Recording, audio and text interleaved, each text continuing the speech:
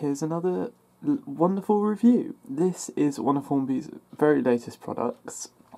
It's the new late BR Princess Coronation class, Sir William Stanier FRS number 46256. Now, this is a very interesting one. Um, Hornby have just completely retooled their original Duchess design, interestingly, because they brought out a couple of Duchesses uh, a year and a half ago or so um, back, which was quite a good design, um, but they have updated it and brought it a little bit forward from the original uh, the original design. Um, but this is not any type of the Duchess class. Now, the Duchess class or the Princess Coronation class is a very has a very interesting history. Um, they were built by well designed by William Stanier as the prime express passenger motive power for the Midland region.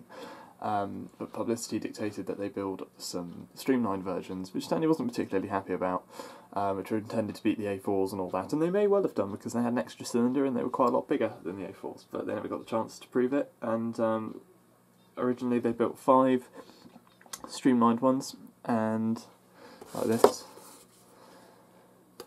and uh, five normal ones and then of course the streamlined ones after the war were uh, stripped back to their original features and they had slightly sloped fronts and a couple of other differences.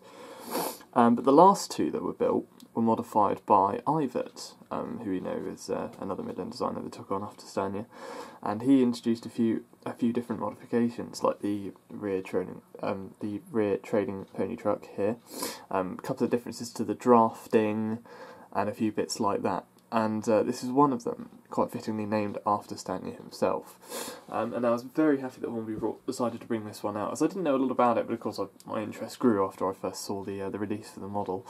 I ordered it back in February when it was released, when it was uh, announced, and it's arrived today, which is absolutely fantastic. And it's of course in the late BR crimson with the red overhead warning flashes, which I think looks fantastic. Um, and this particular loco is very interesting because it's was the last survivor of its class, and it lasted right until the end, and was used on a lot of on the Midland region at least, and was used on a lot of enthusiast specials, etc. Um, there were plans to extend the life of the class and uh, throw them over to the, I think it's the Aberdeen route that the A4s were working towards the end of their lives, but they realised that because of all the crew training costs and things like that that were going to be involved, it sadly wasn't economic. So, 1963 tail end that this one was withdrawn and uh, there are many great reference photos for other people wishing to model it online. And um, I've followed the sort of production of this particular model, and they matched the paintwork to original samples of that BR colour. I think that's absolutely fantastic. That's a real attention to detail that Hornby have taken there, and it really is a cracking model. So um, obviously it's the uh, normal sort of block of ice, suppose you call it, packaging. And wow. yes, I know. I thought it too. Wow.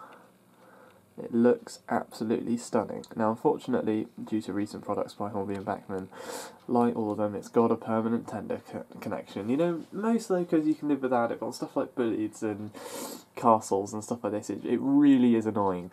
But unfortunately, that's what most of them are doing now, so we're just going to have to live with it. But it looks superb the crisp sort of golden lining really popping out there, and the yellow axle box covers really, really done to justice. And of course, the flashes at the front, the double chimney, it looks fantastic. And of course, you've got the slightly higher running plate on this one.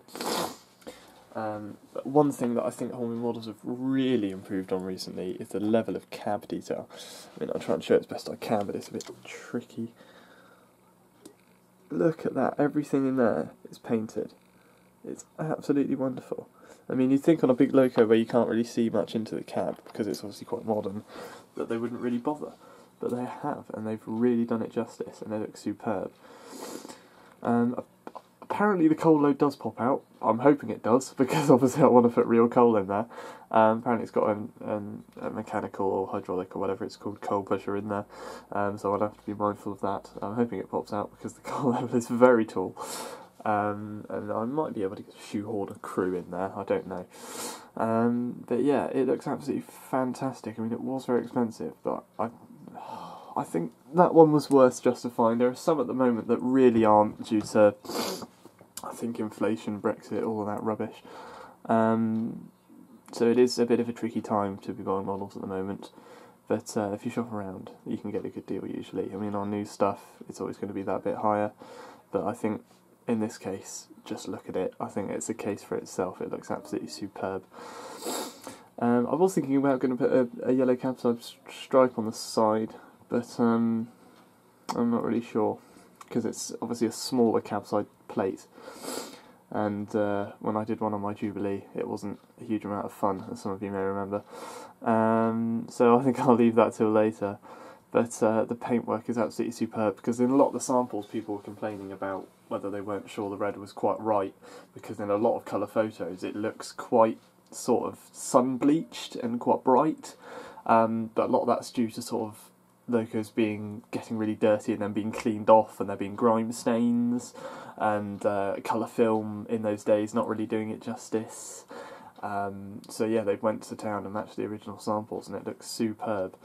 And uh, you know me, I buy stuff from every region, so it doesn't really matter. And I've got a slightly older Hornby Duchess, which is uh, City of Bristol, which is the BR Express passenger blue one, and uh, that's been quite a good model. Um, it's been through it's on the second set of valve gear now, which was very kindly done by Matt, um, because we had a slight issue with the slide bars um, I think that was just due to it being in a not very convenient position when it was in storage for a while.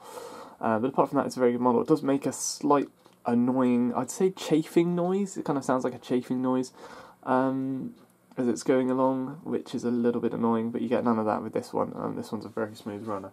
So I think the model can really speak for itself, to be honest. Uh, and for once, I've actually got, got around to doing a review on quite a, a recent model because usually I'm quite behind. um, there's a few extra details that come in the pack, obviously brake rodding, uh, vacuum pipes, and all that, and I think cylinder drains. I'm not sure, um, which I'll probably add as well. But it looks fantastic. It pulls very well. It's very strong. Stronger than I was expecting, although my other one is quite strong as well, because um, you've obviously got a lot of weight pushing down on the driving wheels, which does help. Um, although the valve gear design does look the same, but they've done a superb job uh, retooling. They, they built it from the ground up, and it looks fantastic. Um, so thank you very much for watching. I shall insert some footage of it running here, and I'll see you guys in the next review.